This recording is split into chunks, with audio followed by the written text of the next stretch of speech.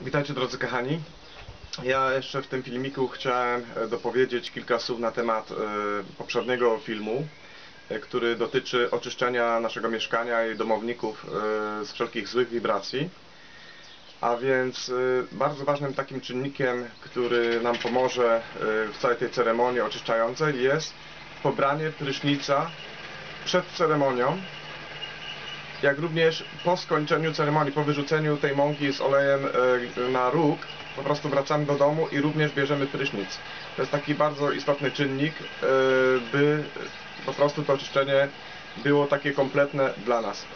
E, Również jeżeli chcemy oczyścić pewną osobę z negatywnych wibracji, czy to mężczyzna, czy kobieta, możemy w miejscu, gdzie śpimy, gdzie kładziemy nogi, na końcu łóżka, możemy położyć woreczek e, plastikowy z solą himalajską. E, Dlaczego właśnie mówię o soli himalajskiej? Ponieważ sól himalajska ma to do siebie, że zbiera wszelkie złe wibracje, e, no po prostu wchłania do siebie i po jakichś e, siedmiu, sześciu dniach po prostu tą sól usuwamy y, z naszego łóżka, wyrzucamy gdziekolwiek, gdzieś na ogród czy pod jakieś drzewo, by po prostu tej soli nie mieć więcej czasu y, w domu, w tym miejscu, gdzie właśnie śpimy.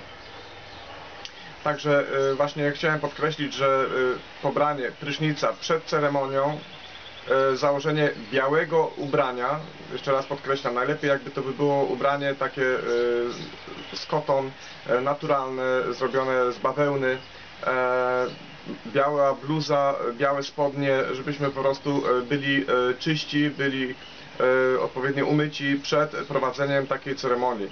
Jak również podkreślam, świeczka, która ma służyć tej ceremonii oczyszczającej naszego domu, musi być najlepiej z wosku pszczelego z naturalnym knotem lub lampka oliwna. Jeżeli ktoś ma lampkę oliwną, może taką lampkę podczas ceremonii po prostu zapalić. A jeżeli nie ma tej lampki, no to po prostu zwykłą świecę wosko, y, z wosku pszczelego może używać do takiej ceremonii. Ceremonia, jak już wcześniej podkreślałem, to jest godzina i 10 minut e, ciągłego intonowania tej mantry. E, oczywiście to jest dosyć duży, długi okres czasu, jeżeli jesteśmy zmęczeni. Bardzo istotnym takim e, faktorem jest wypicie właśnie tej wody, e, wody e, z łyżką miodu, dobrze rozmieszanej, letniej wody po prostu z miodem, by po tej bardzo silnej mantrze, po, po tym wysiłku po prostu wzmocnić nasz organizm. Także drodzy kochani, to by było na tyle. Takie dopowiedzenie do tamtego filmiku.